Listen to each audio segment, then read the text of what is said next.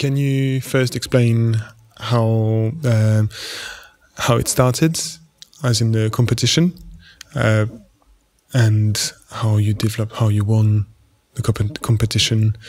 What was the process of um, of the competition and everything? Oh well, it started. It was an invited competition Okay. with um, It was a tendering process. yes, Okay. and uh, so it was um, it was an invited competition. It was, if I remember correctly, five firms invited to compete, and the brief was to basically uh, create a new uh, performing space for the college because the existing one, the Christopher Lee Theatre, was only 350 seats capacity, and they wanted something instead to be able to host the uh,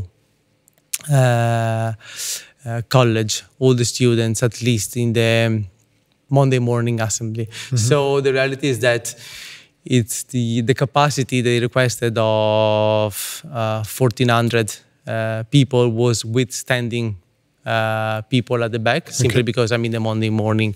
Um, uh, the Monday morning assembly is uh, something that lasts for half an hour, one hour, so you can afford having people like standing at the back. And then they wanted like a 900 uh, seats capacity. They wanted to be linked to the existing uh, theater that's following the brief of the competition had to be uh, repurposed into uh, rehearsal studios and uh, black box. Okay. Uh, so that was the initial brief. This was the competition. The competition was, um, I mean, it happened mid 2014. Uh, it took few months. Then it took a few months to award Studio Seilern, and then once that happened, uh, the office moved to the concept design, and from there to um, uh, two-stage tender process that then led to a design and build uh, contract.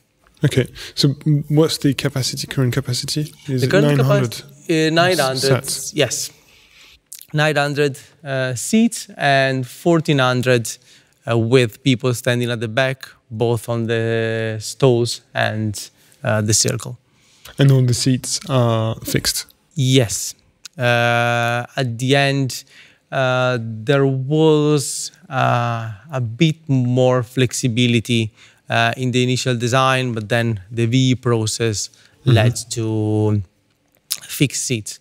They are the anyway. Uh, the first four rows are removable in an easier way than other seats. I mean, you can actually remove all the seats, uh, but the first four row are more easily removable because they are on top of the orchestra pit, which is uh, in front of the stage, of course. So, Okay. So two stage uh, tender.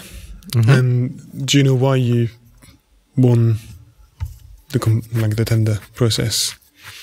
Well, I guess we we had the winning uh, the winning scheme, the winning idea. It was like um, uh, challenging side, and uh, because of many reasons, we can talk about them. And I mean, it was it's a site on uh, different levels. I mean, the back of the mm, the back of the theater is in fact much taller than the front because it is on it sits on a slope. But it's a complicated site above all because it is inside an historic campus. It's- it is inside the victorian campus of wellington. It is close to uh, a part of the campus that actually is from the 70s which is like more like of a functional modernistic st- uh, style. And uh, not only that it is also uh, on the edge of the forest which is on the south side of Okay. the campus itself. So we had to deal with all of these uh, factors surrounding uh, the selected site. And they tried to go for planning previously uh, for a performing space here, but the real problem was the bulk of the building. Um, the capacity they wanted, 100 and uh, sorry, 1400 seats. I mean, kind of creates a fairly bulky building, Yeah. uh, and it was difficult to find something that was marrying the site, that wasn't too uh, imposing on the forest and on the uh, Victorian buildings of the campus. And I think two key ideas uh, sold uh, the scheme. One is that uh, it is a circular building. The circular building not just brings something to the experience inside uh, that you have inside the performing space itself, because I mean it kind of goes back to a uh, uh, Greek theater. It creates like more of a collegiate uh, atmosphere inside where there is visual interaction, where there is like a proximity to the stage. But it also creates like a building that from the outside has no no edges, no corner, and it kind of fade more nicely uh, against the background. So is I guess I think the expression we used throughout the project was that it was like perpetually recessing into the background, which I really love this expression.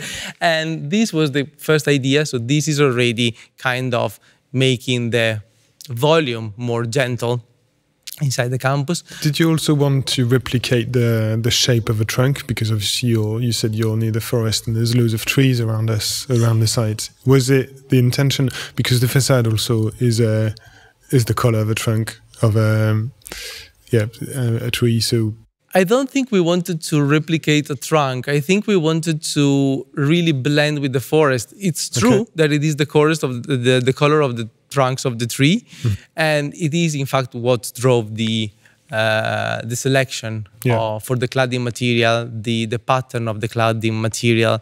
Um, the fact that you have this sort of vertical pattern that somehow echoes the uh, the trunks behind the theater. So, and so I wouldn't say that we went for a trunk, but we went like for this forest feeling Yeah. uh, with the cladding.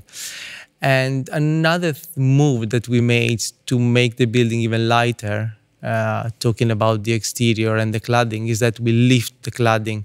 We kind of put like this circulation all glaze around the perimeter of the building. So you kind of have this feeling of this big volume that is like hovering yeah uh, above the landscape.